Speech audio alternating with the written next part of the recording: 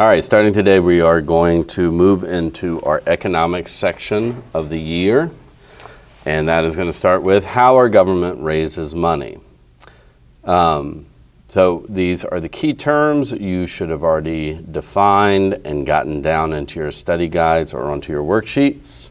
So we will move from that to what we have here. So go ahead and jot down what you have on the screen. You can keep writing once I begin talking again when the timer hits zero.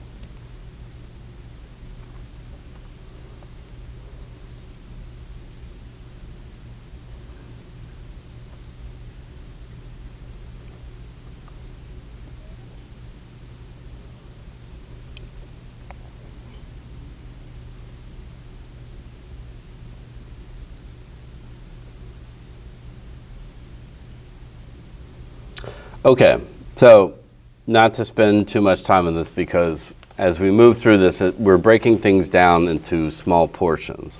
So they shouldn't take too long to get through.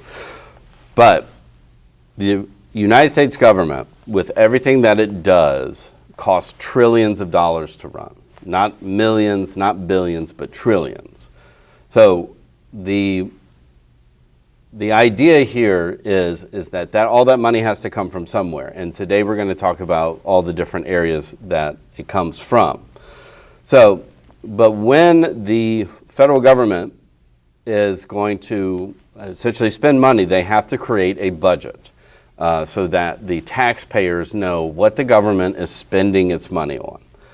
So you have various different things that go into that, but the majority of the money that the federal government gets gets is from tax dollars, specifically from income tax. So on the graph on the screen here shows you the rise in income tax collections versus all other taxable, um, whether or revenue or income or money.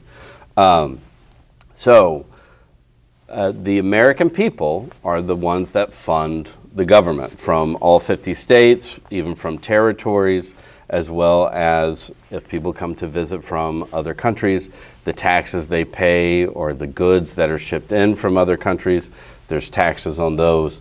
So that, that funds the government. So that's what tax dollars are used for.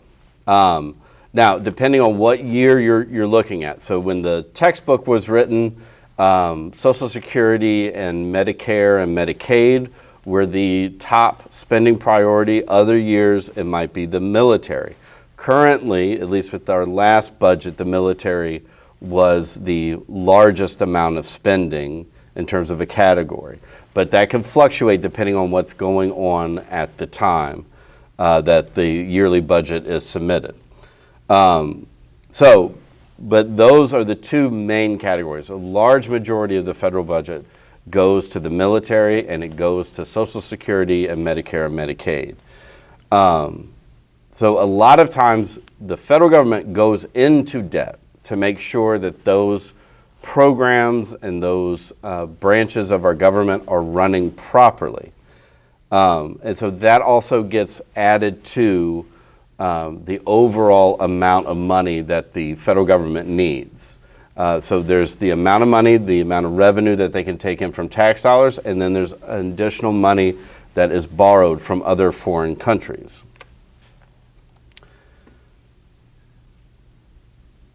And we'll get into that in a minute. You got two, less than two minutes.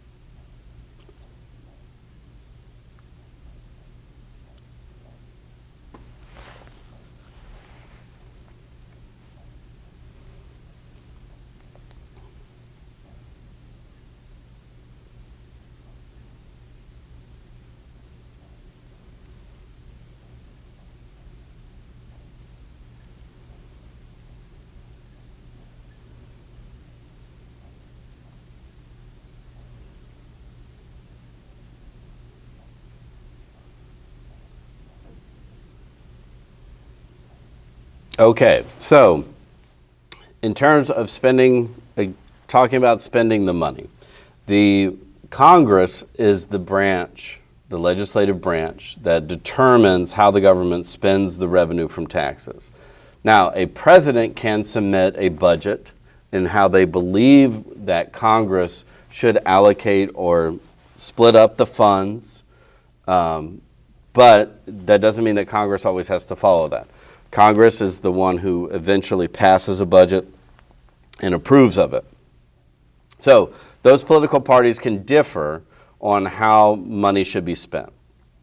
So the basic understanding here is in our current political system, so for instance, conservatives, which is right now is the, currently the Republican Party, they believe in lower taxes, which of course would mean that we would have to cut federal spending. So you'd have to cut some social programs, you'd have to cut money out of other items that you see on the pie chart uh, on this page.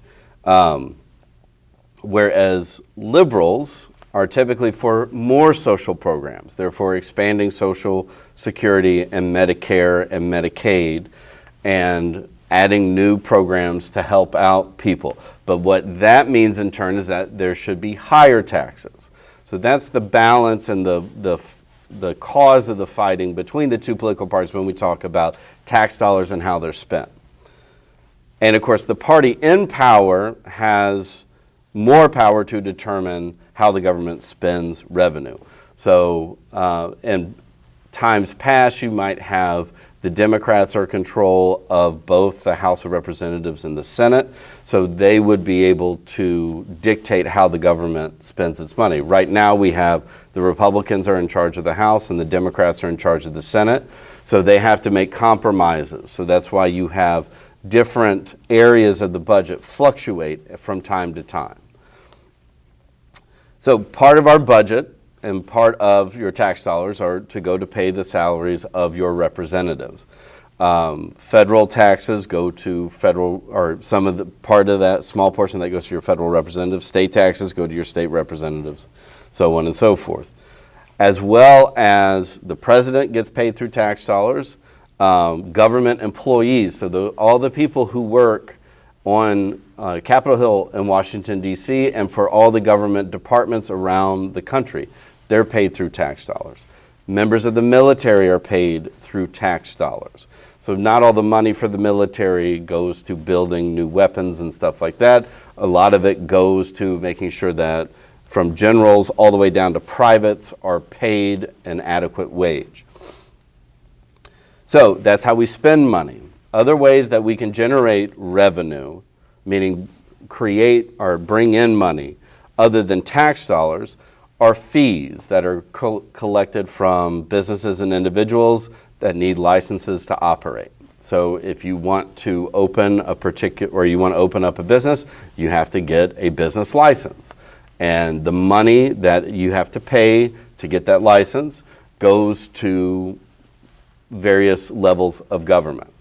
Um, there's also fines. So if you um, violate the law, one of the first things that you're going to have to do is pay a fine. Uh, and so those, all those fines collected add to the overall revenue that the government gets. And then finally, if at a time we need to borrow money, the federal government will issue bonds. And these are essentially, they are, um, somebody gives, like we have here, we have a bond for $10,000 on the screen. So somebody gives the government $10,000 and the government promises to pay them back with interest. So with a little bit money, a little bit more money added on top of that. And typically government bonds are a safe investment, but they're not, you can't buy like a $100 or a $1,000 government bond. They're usually fairly large. Uh, unless we're in a time war, they'll, they'll get those down a little bit. Uh, but these can be bought by individuals, these can be bought by businesses, these can be bought by other governments to help our government finance itself. And that is all for today.